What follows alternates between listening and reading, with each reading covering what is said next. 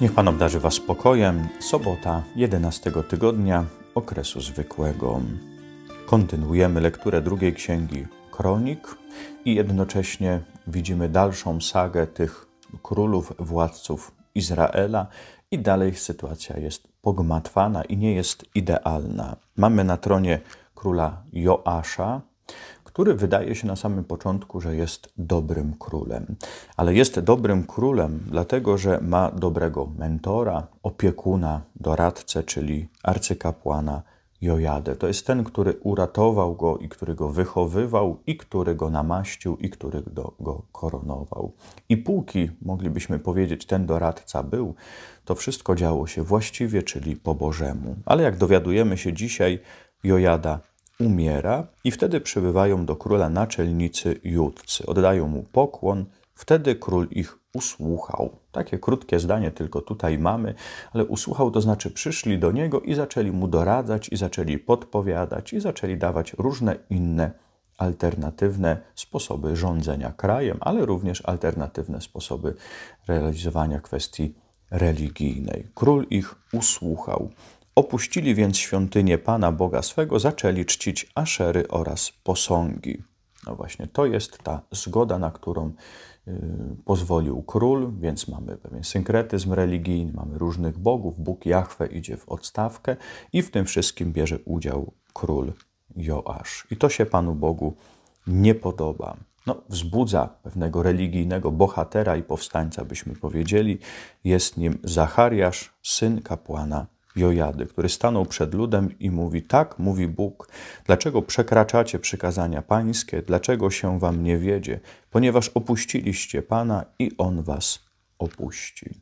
Czyli mówi mocne słowa, ale jednocześnie gorzkie słowa, których nikt nie chce słuchać. Więc jest spisek przeciwko niemu, ukamienowali go z rozkazu króla na dziedzińcu świątyni pańskiej. I jak pokazuje nam autor Księgi Kronik, Król Joasz zapomniał już o dobrodziejstwie, jakie wyświadczył mu ojciec Zachariasz Jojada, ojciec Zachariasza Jojada i zabił jego syna. Czyli widzimy, jak można zmienić swoje postępowanie, swoje życie. Najpierw właśnie Jojada chroni tego małego chłopca, staje się dla niego tym opiekunem, tym ratownikiem, byśmy powiedzieli, a potem mijają lata i ten chłopiec, który wyrósł i który uratowany był dzięki temu kapłanowi, zabija jego syna. Więc widzimy, jak może się nasze życie zmieniać, w ogóle jak życie się zmienia.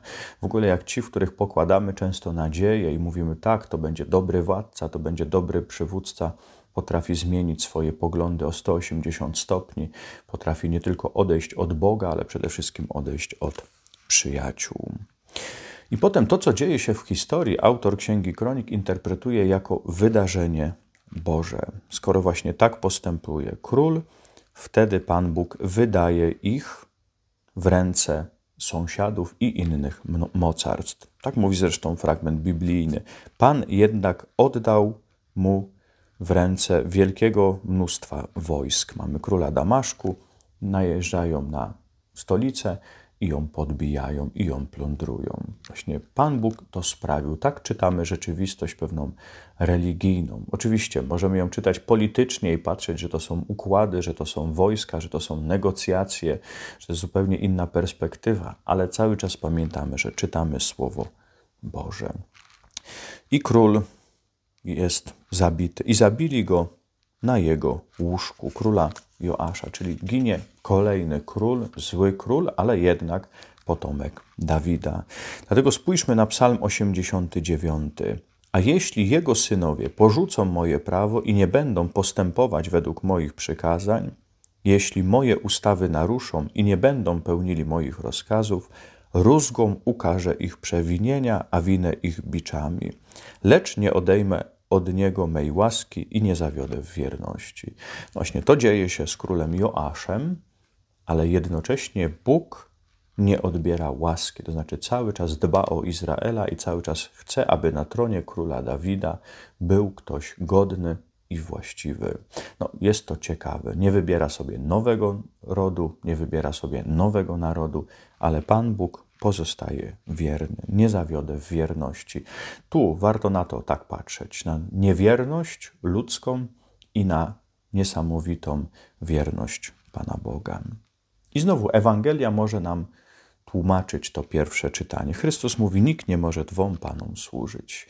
I widzieliśmy, póki Joasz służył jednemu panu i słuchał się i miał dobrych doradców, ale był przede wszystkim wierny Panu Bogu, wszystko było w porządku. W momencie, kiedy zaczął się chwiać i służyć dwom panom, czyli dwóm bogom, okazało się to niemożliwe i całe jego królestwo i całe jego życie legło w gruzach. Nie da się dwom panom służyć, jest to niemożliwe, jest to z góry skazane na porażkę.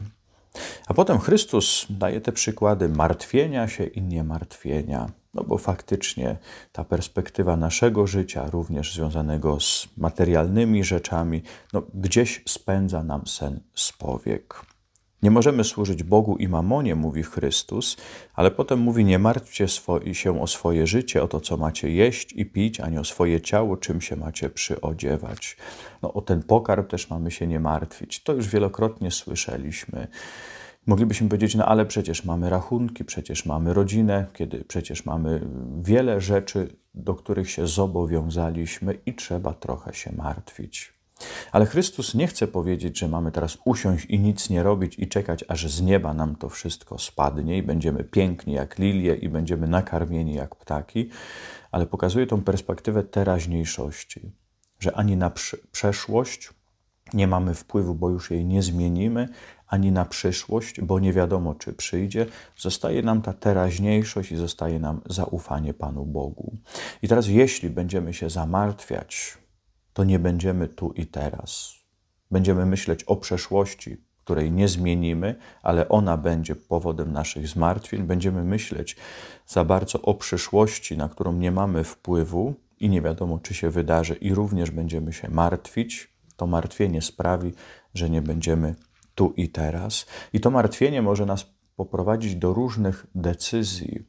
Czasami ktoś, patrząc za bardzo wstecz, rozpamiętując stare wydarzenia, stare grzechy, nie potrafi ruszyć do przodu, nie potrafi cieszyć się tym, co teraz i mieć nadzieję na przyszłość.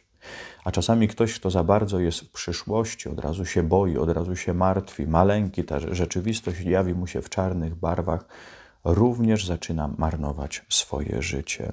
Trochę jakbyśmy popatrzyli na Joasza i na tych królów izraelskich. Kiedy zaczynają się martwić, kiedy zaczynają słuchać różnych doradców, kiedy zaczynają wybiegać za mocno w przód, co to będzie, i właśnie pod wpływem różnych lęków podejmować różne decyzje, aby się zabezpieczyć, wtedy w ich życiu dzieje się źle.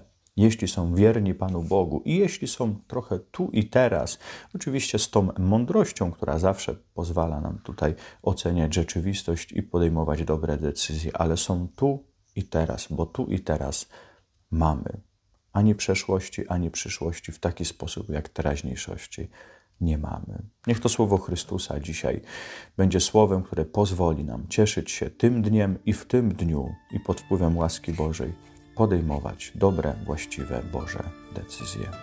Pan z Wami, niech Was błogosławi Bóg Wszechmogący, Ojciec i Syn i Duch Święty.